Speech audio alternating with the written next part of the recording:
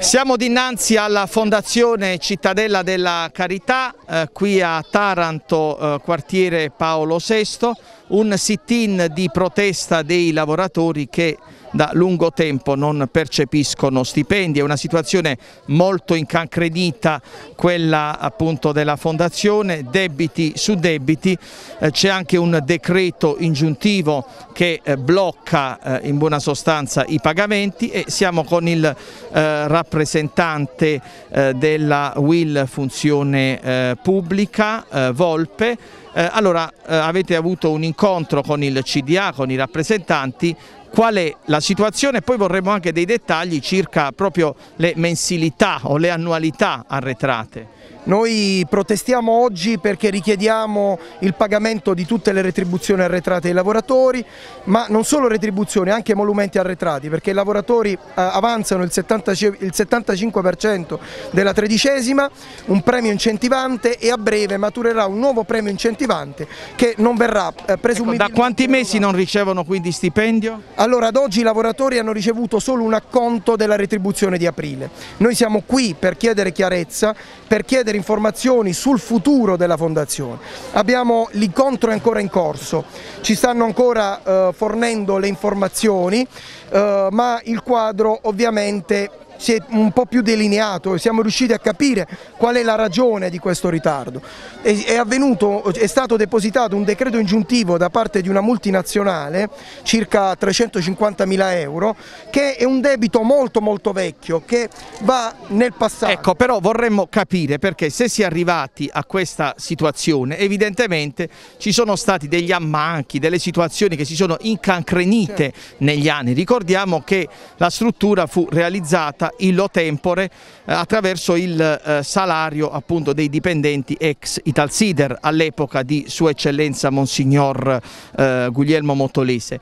Cosa è successo in questi anni per andare a finire nel baratro? Eh, la fondazione ha milioni e milioni di euro di debiti. Noi, Come si sono creati no, questi? A noi, a noi, le informazioni non ci sono mai state fornite, noi abbiamo richiesto anche un'azione di responsabilità nei confronti dei precedenti amministratori perché se si sono venuti a creare milioni e milioni, ma, parliamo di oltre 10-15 milioni di euro, se non anche di, eh, di, più di debiti, che ovviamente la fondazione sta cercando di eh, far fronte. Eh, quando ci sono dei decreti ingiuntivi fa opposizione, si cercano delle transazioni, per il dilazionamento delle somme, ma a questi debiti ora aggiungiamo anche quelli dei lavoratori ecco, che oggi sono disperati. Ecco Volpe, io eh, registravo proprio qui eh, lo stato d'animo, l'agitazione sì. legittima, sacrosanta dei dipendenti che non ricevono stipendio e dicono sì, però al di là degli impegni, delle belle parole, sono le solite promesse che alla fine non portano a nulla. Speriamo che anche questa volta non si risolva tutto in un procrastinare all'infinito. Noi alzeremo l'attenzione al massimo, questo è solo il primo passo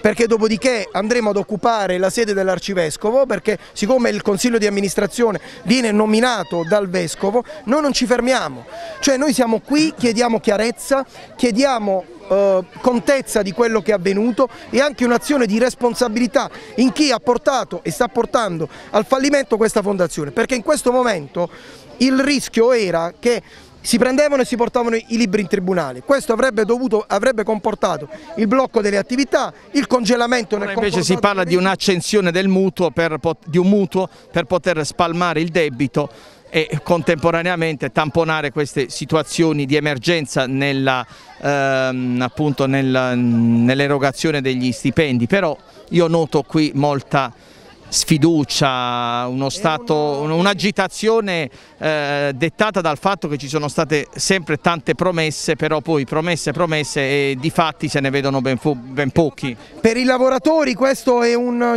un déjà vu, i lavoratori quello che stanno vivendo oggi l'hanno già visto, hanno ceduto dilazionando delle somme pregresse e ora rischiamo di dover ricorrere nuovamente a questo meccanismo.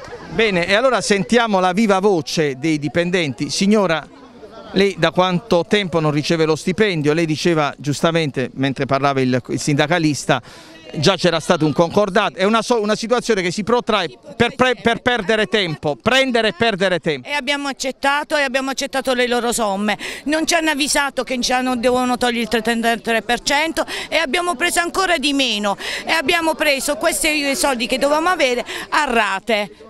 E io ho fatto debiti come io e tutti gli altri miei colleghi per andare avanti quei 3-4 mesi che non abbiamo avuto lo stipendio a debiti e ancora stiamo pagando i debiti perché ad avere 15.000 euro, avere 10.000 euro e poi almeno il 33% ne abbiamo avuti 6.000, 6.000 a rate a rate non, non, abbiamo fatto niente. Okay. E questo è, una, è sempre così e si continua ancora.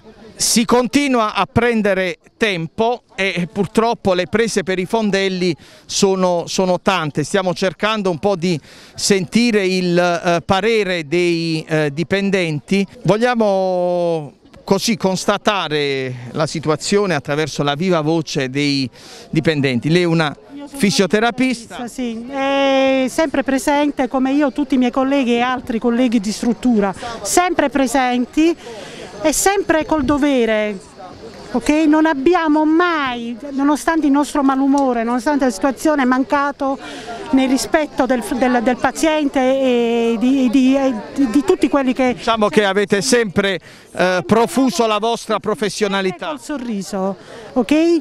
Però siamo arrivati ora a un certo punto che sinceramente siamo stanchi, stanchi veramente, le abbiamo avute anche noi le ingiunzioni, perché non riuscendo a pagare, a coprire i debiti, le ingiunzioni sono arrivate anche sui nostri stipendi. Chiaro, perché poco si interessano che voi veniate pagati o meno. Non è un mese, due mesi, è una situazione che si protrae da tempo. Ecco, ora si prende tempo, si parla di questa ingiunzione, si parla di questa accensione di mutuo, ma sembra una musica già vista. Sentito, sì, abbiamo già sentito, ecco perché non ci crediamo più.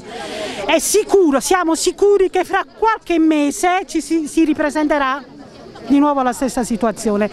Io ho un figlio che devo, devo garantirgli un futuro, sono monoreddito e sinceramente con l'incenzione che ho lo stipendio, 1000 euro prendo, mi rimangono, averla a rate, pure questo stipendio arretrato, a 55 anni non posso andare a chiedere la 100 o la 200 euro ai miei genitori, che me li darebbero sicuramente, ma è una questione, è una questione di dignità. Di dignità. Certo. Così come io, così come tutti i miei colleghi. Perché anche se uno ha doppio reddito, fa i passi per il doppio reddito. Quando ti viene a mancare uno di questo, è grave la situazione. E basta, solo questo. Come la penso io, ripeto, la maggior parte dei 184 colleghi la pensano come me.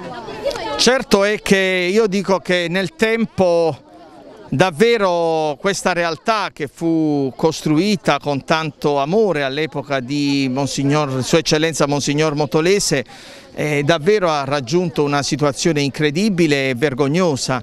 Eh, lo dico senza mezzi termini, penso che Monsignor Motolese si stia rivoltando nella tomba. Sta rivoltando... Stavo per dire io. È tanto tempo, sono qua una collega, sono qua infermiera, sono, eh, sono qua 21 anni che lavoro qua. Ci siamo proprio rotti, rotti perché ogni volta è sempre la stessa storia. Mutui, ingiunzioni. Si prende tempo, si prende... Sì, perché siamo, scusate il termine, noi siamo coglioni perché oggi qua, proprio appena uscivano con tutti questi tutti questi 3-4, qua bisognerebbe dire noi ci fermiamo, eh, tutti i pazienti, pazienza, pazienza, vado contro un po' la mia dignità.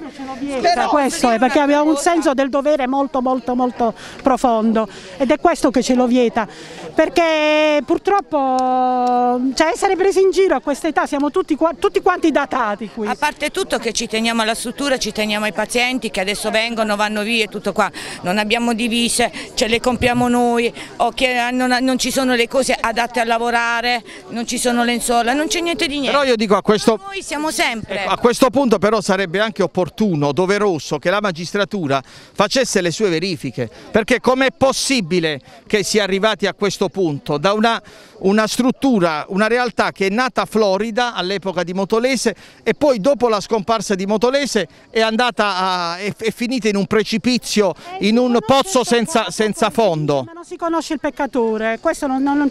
A questo punto noi vorremmo anche delle risposte, io penso che mh, verrà anche coinvolto l'arcivescovo perché comunque eh, il CDA è di nomina dell'arcivescovo e quindi comunque... Però faccia non ne mette mai, eh, non l'abbiamo ancora visto. Faccia non ne mette mai voglio dire, siamo un signore che tutti gli altri, faccia non ne mette nessuno, noi stiamo mettendo la faccia qua, noi. Lui poteva venire oggi perché sapevamo di questa manifestazione e sa noi in che grado siamo, come siamo, perché siamo diventati proprio dei pezzenti, siamo diventati, pur lavorando tutti i giorni, tutti i giorni siamo qua. In questo periodo di Covid che è stata dura, in un periodo particolare della sanità comunque.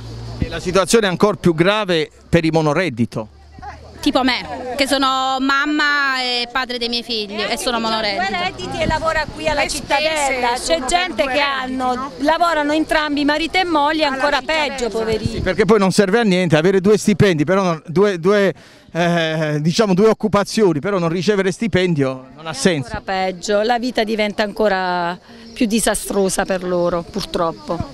Bene, noi voi sapete che io affronto molto le tematiche dell'ILVA, eh, sia come aspetti ambientali sia come aspetti occupazionali, però vogliamo evidenziare il fatto che eh, sotto l'aspetto occupazionale si parla sempre della crisi ILVA, ex ILVA ed è giustissimo farlo, ma ci sono tante altre situazioni eh, molto ma molto pesanti, qui parliamo di centinaia di lavoratori che pretendono risposte, che pretendono un salario, che pretendono il diritto alla, alla vita. Ehm, e a una esistenza appunto dignitosa, per cui ripeto non vorremmo che qui a Taranto sotto dire, la quercia della situazione Ilva altre realtà eh, apparentemente minori venissero dire così nascoste ed è giusto, opportuno e doveroso dire metterle alla luce. Continueremo con le nostre inchieste, con questa inchiesta perché vogliamo capire come si è arrivati a questo baratro e capire anche le risposte perché qui da, eh, così come si vede eh, dalle varie interviste eh, non si fa altro che fare promesse e prendere tempo, eh, è, una, dire, è un film già visto. Eh, un film a cui bisogna porre la parola di end, la parola fine per la tutela e la dignità di chi lavora in un settore particolare perché non sono dei semplici lavoratori ma sono dei lavoratori che assistono gente sofferente, gente ammalata e lo fanno con il cuore, lo fanno con tutte le difficoltà, con tutta l'esasperazione eh, che eh, il non ricevere lo stipendio, anzi gli stipendi comporta.